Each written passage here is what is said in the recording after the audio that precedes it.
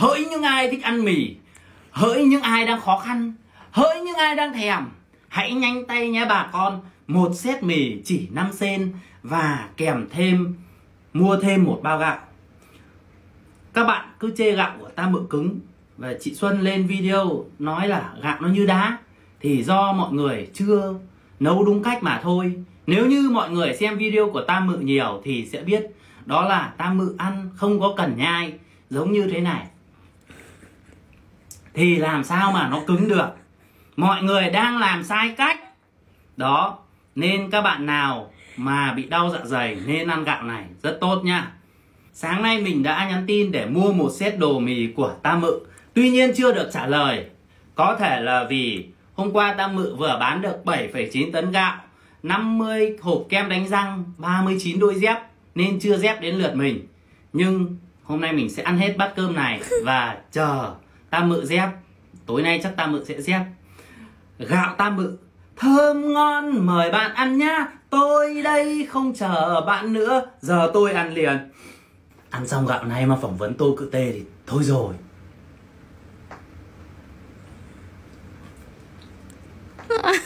Ngân ngân ơi!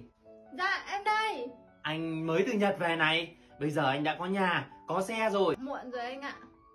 Em sắp lấy chồng rồi giá như Giá như Giá như anh sinh ra ở Vạch Đích thì tôi còn chờ.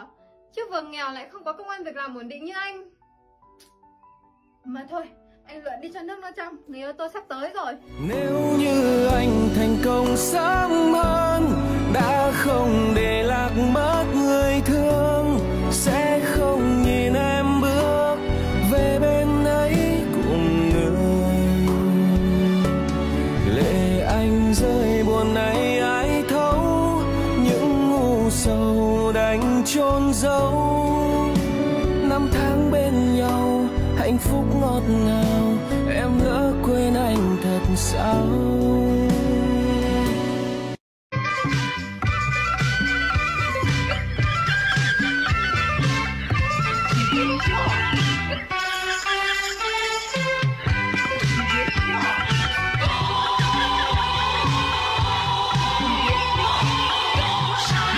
Giới siêu cò phải kính nể huy chuyển việc vì đã chiêu mộ được 11 cầu thủ vào biên chế của FC Sùm Lùm tại Nhật Bản. Đầu tiên ở vị trí thủ môn là vị trí có thể quan sát được các cầu thủ trên sân là có cầu thủ cuội. Cầu thủ này khi thấy các cầu thủ khác bị thương sẽ ngay lập tức bán cho một lọ xương khớp hoặc là một liều ờ, thực phẩm chức năng. Ở vị trí hậu vệ cánh trái là vị trí mà cần có sức khỏe vừa để có thể tăng tốc ờ, chạy dọc biên và có những quả tạt à, xuyên phá hàng thủ của đối phương. Thì mình có bố trí là cầu thủ Bùi Xuân Tâm. Cầu thủ này đang theo học môn phái đả cầu bóng pháp và có những pha truyền rất là khét từ bán mận sang bán gạo rồi đến bán thuốc lá. Đối diện phía bên này chúng ta có hậu vệ cánh phải MSK hậu vệ này có đặc điểm là nổ hơn thế nên là bị à, cộng đồng mạng lên tiếng. Dạo gần đây phong độ là đang đi xuống phía giữa này có bố trí cặp hậu vệ. Trung tâm đó là hội bán sỉ tại nhật và cầu thủ vạch mặt. Hai cầu thủ này có đặc điểm chung là có những pha chọc khe và xỉa nách vào tiền vệ đội nhà. À, đó là xỉa nách cho xuân sóc việt nhật và tiền vệ chi đại sendai à, cặp tiền à, vệ à, tấn công chúng ta có là tiền vệ à, cánh trái gia hân và tiền vệ mori vui vẻ hai tiền vệ này có mối quan hệ như thế nào thì chúng ta còn đặt một dấu hỏi. Tuy nhiên là cầu thủ gia hân hiện nay đang bị uh, covid nên là đang không thể ra sân. Phía trên chúng ta có cặp tiền đạo đó là mộc nhĩ và nam bị nhiều người yêu cắm sừng. Như các bạn cũng biết là nếu như mà tiền đạo ở trong câu lạc bộ lớn là cạnh tranh rất ghê thường là sẽ không có chuyển bóng với nhau. Mà khi có bóng là sẽ cắn răng cắn lợi là sút hoặc là truyền về cho tiền vệ đội nhà. Đấy, thì sơ đồ chiến thuật là như sau. Thủ môn quậy này truyền bóng lên hội à, bán sỉ tại nhật này. Hội bán sỉ tại nhật chọc khe cho xuân sóc việt nhật này. Xuân sóc việt nhật cay quá dốc bóng thẳng một phát. Qua tiền đạo đội nhà qua mộc nhĩ xuyên vào hàng thủ đối phương ghi bàn một không. Cách thứ hai thủ môn quậy truyền bóng cho vạch mặt này. Vạch mặt lại xỉa lưng vào chị đại sen đai chị đại sen đai ở đây chưa biết truyền cho ai sẽ truyền cho mori vui vẻ.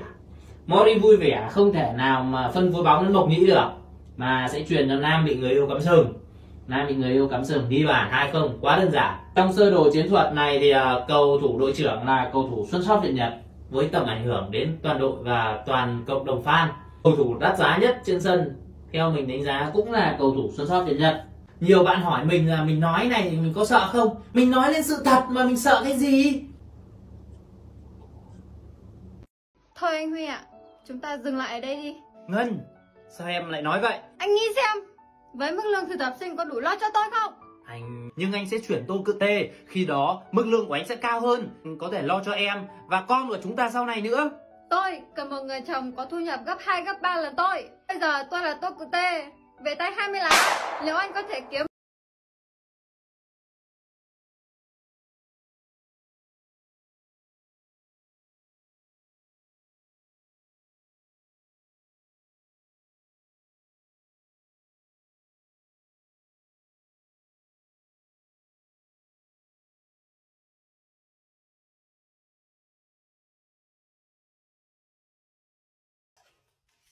Chào các bạn.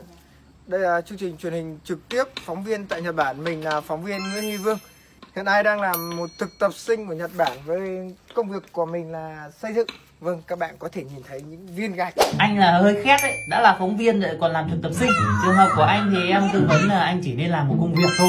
Nếu như anh quyết tâm làm phóng viên thì anh liên hệ với anh Hoàng Tuấn vận chuyển 6 tháng làm việc tại đài phát thanh Bóc Phét. Nếu như anh muốn tìm một công việc khác hoặc là chuyển visa Tô Tegino thì anh có thể liên hệ với em Huy chuyển việc. Như anh Nguyễn Huy Vương nhá, chứ như anh là tham quá. Anh Huy. Ừ, anh đây. Em có chuyện muốn nói với anh Em sắp chuyển tới cử tê rồi Công ty em mới đến toàn dài đẹp thôi Em chưa nói với ai đâu đấy Em mới chỉ nói với mỗi mình anh thôi Anh... Anh sao vậy? Anh là người bạn thân nhất 35 thực tập sinh của em Chẳng nhẽ Anh không mừng cho em sao? nỗi buồn